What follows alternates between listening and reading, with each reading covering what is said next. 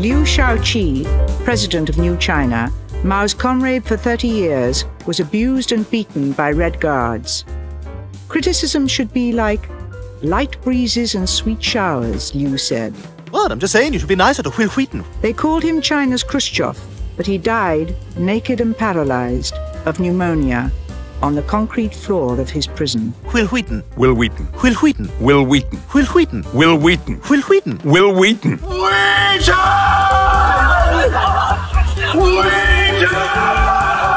Should I hate Wil Wheaton? A lot of people do. Ever since he played Wesley Crusher on Star Trek The Next Generation, the cringiest character Gene Roddenberry ever created. So, once upon a time, I was on Twitter debating Adam Baldwin, the conservative actor. You're a real comedian. This was years before Adam unfollowed me for some mysterious reason and then quit Twitter. As I remember it, I suggested to Baldwin that he hated Wil Wheaton's acting just because he hated Wil Wheaton's politics.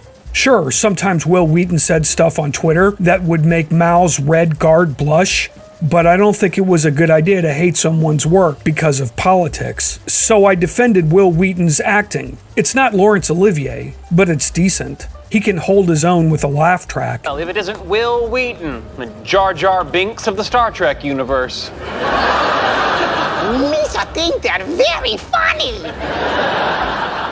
Well, Yusa can go think that at the back of the line. Then, a few days after I just finished defending him, I discovered that Wheaton had blocked me on Twitter. There's plenty of other people who've had similar experiences with Wil Wheaton, like Lee Stranahan, radio host, who'd worked with Wheaton back when Lee was at Newtek, the software company. Lee thought that they were friendly acquaintances, only to find out later that he too was blocked on Twitter.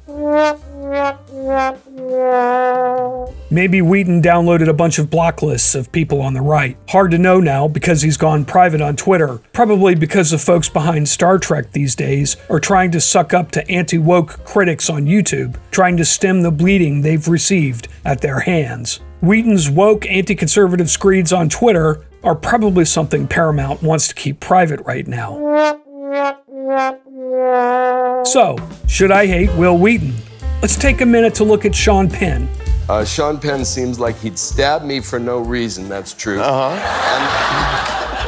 And, and then immaculately stitch my wounds while telling me about his time in Haiti. Oh! His activism certainly helped install the communist dictator Hugo Chavez in power in Venezuela. Way more than just a few innocent people are dead because of this, and the country is still suffering today, starving and dying. Travesty. But I can still separate the art from the artist. Even when the movies he chooses to be in are terrible, Sean Penn's craft is masterful. So is this mental separation I'm making between art and artist a suicidal thing to do? In other words, does compartmentalization between art and artist make oneself vulnerable to the evils the artist might do in real life? I'm sure there were plenty of people in Mao's China that thought, all I have to do is keep my head down. I can enjoy the operas starring Mao's wife and buy tickets to her shows. The money I'm putting down for her shows won't ever be used against me.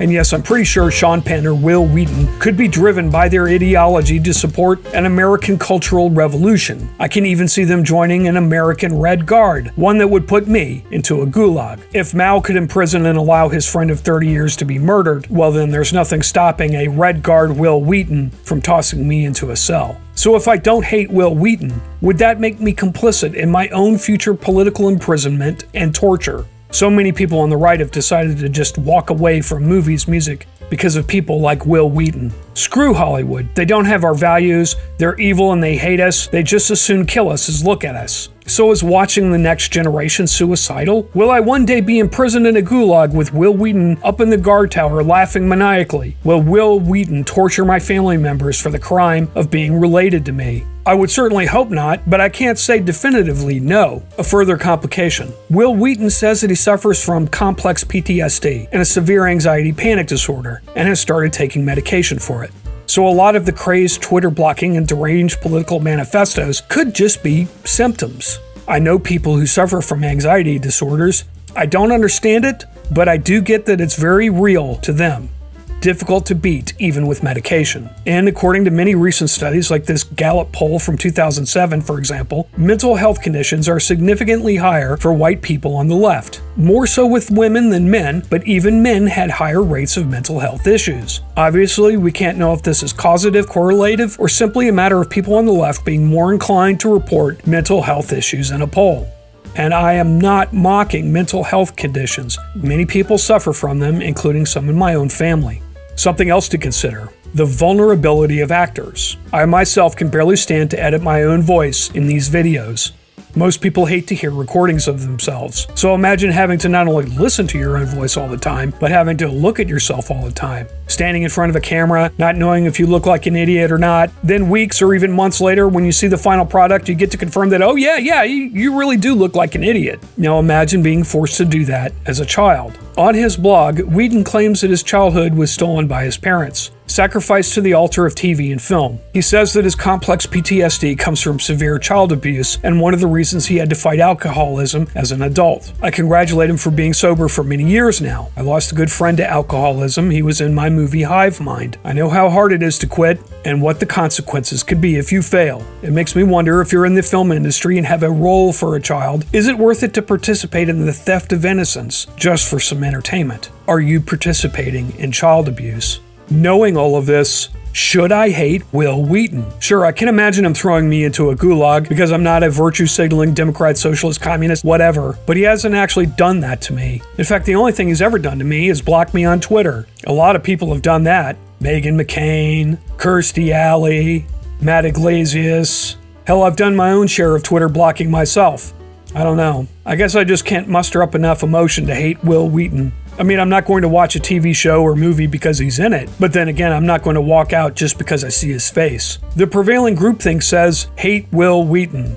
But then again, I hate groupthink. Provided Wil Wheaton refrains from running gulags, consider me a contrarian. In fact, if I was making a movie today and there was a part in it for him, I'd consider casting Wil Wheaton if it was going to make the movie better, because the art is a thing. So there you go, for now at least, I've decided to not hate Wil Wheaton. But my god, he needs to stop doing these interviews. These Star Trek after shows are just the worst, most obsequious and sycophantic interviews I've ever seen. It's 100% weaponized cringe. Shut up, Wesley! Shut up! Shut